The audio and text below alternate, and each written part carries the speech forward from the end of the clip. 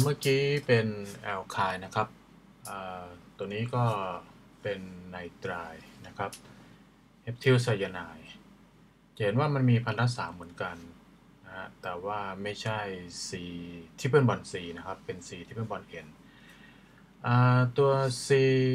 อ่า triple bond CH stretch ของ alkyne มันจะอยู่ที่ประมาณ3,003แหลมๆตรงนี้นะครับ แต่ว่า ตรง3,003นี่หายไป แต่มีแหลมๆตรงกลางเนี่ยนะครับ ซึ่งเป็นลักษณะเด่นของพันธะสามเนี่ยโผล่มา เพราะฉะนั้นนิสิตจะต้องรู้นะครับว่ามันมีพันธะสามแต่ไม่ใช่แอลคายนะครับ ตัวนี้คือไนไตรายมาดูนะครับว่ามีอะไรบ้าง ประมาณ 2,009 ก็เป็น CS2 CS3 straight เช่นเดียวกันนะครับ เป็น symmetry กับ asymmetry นะครับ ส่วนประมาณ 2002 นะครับ ก็จะเป็นลักษณะของ C triple one N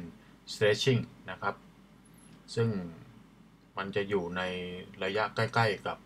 ตัว L คายนะครับ C triple one C เพราะฉะนั้นอย่าสับสนนะฮะจะอยู่แถวๆเดียวกันนะครับ ส่วนที่ประมาณพันสก็แน่นอนเป็นลักษณะของ bending นะครับ ไม่ว่าจะเป็น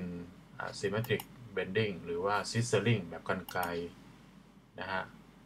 หลายตัวเลยนะครับ แบบ umbrella bending ของ CS3 นะครับอนอกนั้นก็จะเป็นพวก fingerprint นะครับอ่า fingerprint re- region ก็จะอยู่ที่ประมาณ 800ถึง1,300นะครับทีนี้เราจะเห็นว่าตัวนี้เป็นเส้นตรงแน่นอนต้องมี locking นะฮะ locking ก็คือตัวนี้นะครับ locking ที่ 729 นะครับ เป็นการอ่า bending แบบโครง นะครับ อันนี้ก็เป็นข้อสรุป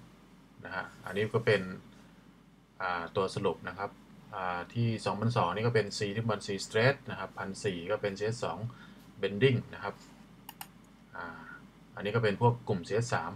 ถ้า2009 ก็เป็น stretching ที่1,400ก็เป็น bending นะครับของ CH3 นะครับ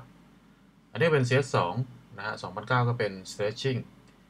1,400ก็เป็น bending นะครับ scissoring เป็นแบบ symmetric asymmetric นะครับ แล้วก็จะต้องมี CH สอง rocking ด้วยนะครับที่ประมาณ 700 นะครับ